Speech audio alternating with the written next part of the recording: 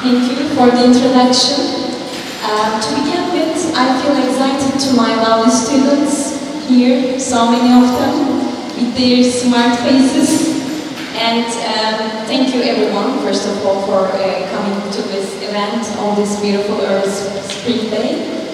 Uh, okay, that moment passed, now I can start. Well, uh, today everybody talked about success and how you can accomplish things.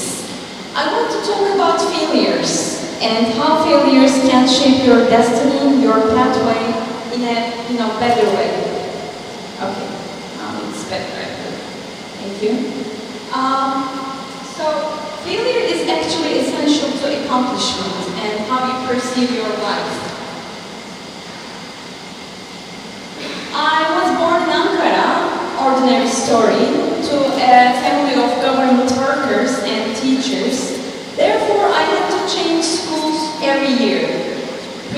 almost every year. And it was a huge trauma and struggle for a young child, as you can imagine. And uh, for the first year of my primary school, I was depressed for a while because I started school in Kağızman, a province of Kars, really, you know, lacking all the essential facilities and everything. And I remember the population of the classroom was 45 people. It was a state school. So I wasn't really enthusiastic about going to school or figuring out how to read and write, and I was the slowest learner. I couldn't figure out how to read and write for the entire semester.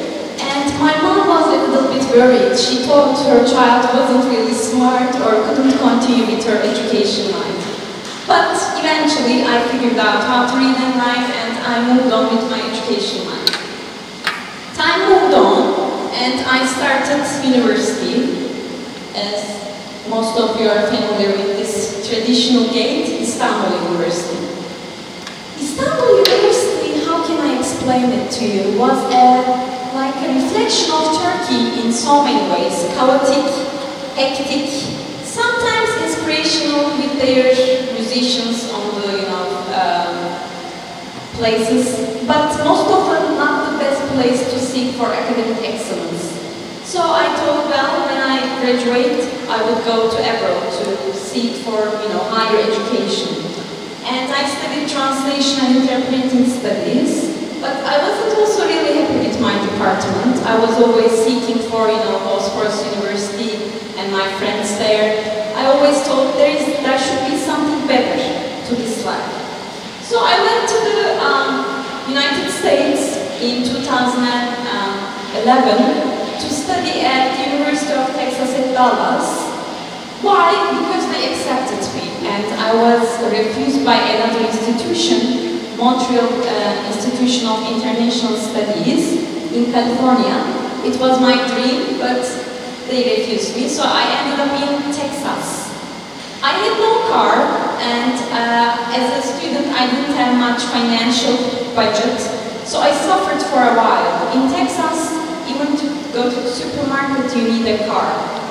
Um, at the end of the first term, first semester, maybe some of the students might feel, you know, related to this. I thought about going back to Turkey because I was homesick, I missed Turkey, I missed the food, the family, friends, everybody. Uh, but again, my mom said, well, finish what you have started. So I came back to Texas and I started working part-time at a pizza store, which I had never done before. First time me going for a job, part-time job to make ends meet. So I started studying and working at the same time. Um, so far, not so good, right? Not very promising. An ordinary student, trying to make the ends meet, trying to come to a pathway in a life. And then I finished my master's. I wanted to apply for a PhD, but um, what the American dean said was, well, we are not really allocating any funding for humanities students. If you have been a management major, or an engineer, or even better, a doctor, we would give you some more scholarship, but you got your master's, you may go back. I said okay, and I came back to Turkey, and I started thinking about possible career pathways. I, before going to Texas, possible career pathways. One of my dream jobs, again, I wanted to be a foreign correspondent, like Rehan Mukhtar once was used to be. And uh, I went into real newspaper, and I thought I would be the best, brilliant journalist ever. I went into journalism in, at the age of 20, when I was still a university student, the intelligence service of Hürriyet, and I couldn't even keep up with the pace of answering stuff, you know, answering phones time. It was such a hectic job. At the end, in two months, I had to quit because you had to go to funerals, you had to follow prime minister, you had to follow other ministers, and you have to do everything at the same time. It was unbearable, so I quit. Easy quit. But it was my dream job. And then, for a while, I tried translation. I thought, well, my major was translation. Maybe I can be a translator. I was lost, and I thought, oh, well, I think I will be unemployed at the end. So I went into my professor's translator office. Again, another daunting job, very tedious, and sitting on a desk, translating legal documents. It wasn't really my cup of tea. I'm really a people's person. I like to be around people. So uh, at the end of the internship, again, another failure, I quit. I said, okay, I am done, ready to graduate, finish my intern. Now I can go. I don't want to be a translator. But I think if I hadn't done such stuff, I wouldn't have known where to start with or what my career pathway would be. So my advice from those failures to young people here, I would say try and fail as many times as you can because it tells you something about you. And um, we all have resumes success, right? Accomplishments, achievements, but we also have resumes of failures. The jobs you tried, but it didn't come along well for you. And an internship at a respectable newspaper, one of them. You tried, you dared to do something, well done. So, um, one moment in Fenerbahce, like five or six years ago, there was a refugee camp coming from people for, you know, uh, Chechenistan. And um, I thought I can volunteer there to teach Turkish to those children because they really needed it to go to school, to cope up with so, their social life. So I did that for a while. And I, I found, out that I actually like teaching. And I thought that it was something valuable. I can see that people's change, people's lives change. Sorry. People's lives can be changed with teaching in on part of the teacher and part of the learners as well. So I ended up at the teaching job, which I think I am doing fine for the last five years. And uh, last year I attended a conference for the first time abroad at a respectable American university, um, Georgetown.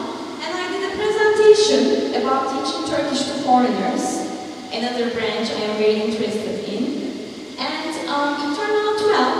I did die, I survived. So, um, following this, I applied for a job at Pittsburgh University to teach Turkish to foreigners again. I prepared a trial, a prospective syllabus, my students know about this actually, a prospective schedule, and it took me almost one month it. I had a Skype interview which lasted two hours, and the answer was, well, uh, thank you, Eda. We are very impressed with your application, but we want to give the job to somebody with more experience. By the time I saw the email, because I was hoping for that, you know, for a long time, I think I was devastated for one minute, and then I said, ah, okay, I'll apply to somewhere else again. I'm used to failure. Know, pass away. So um, now I can go back to this experience and laugh, smile, but for one minute it was really heartbreaking. So what's the thing with our perception, our learning curve towards failure? How do we perceive failure? According to you know uh, Carol Dweck, a researcher from Stanford University, growth mindset and a fixed mindset.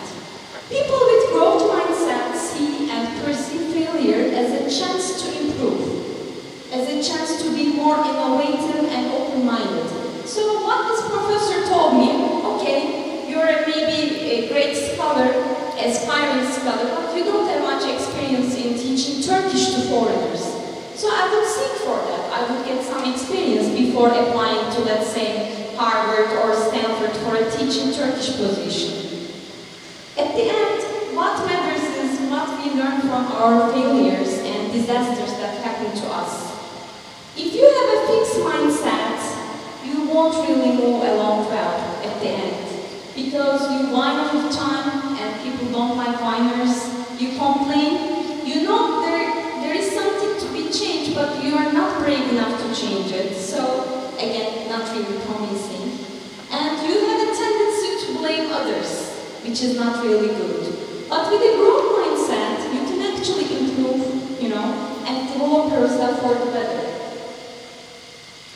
And Dweck did an experiment on the twins, identical twins, and she experienced that even identical twins have different types of mindset. Some of them have growth mindset, and those identical twins do better in life. And some of them have fixed mindset, which they do a little bit poorly when compared to their twin siblings. So I would say failure is a chance to learn, and I am not the most, you know, op uh, optimistic person you could see, but I am still trying to change myself, and I'm still trying to see my failures as opportunities for the next chance. So um, what I want you to take away from today is get a list of your failures, write what went wrong, and think about how you can improve for the next time. That could be today's um, input and feedback. And as you can see, feedback is constructive but as long as it is not really destructive.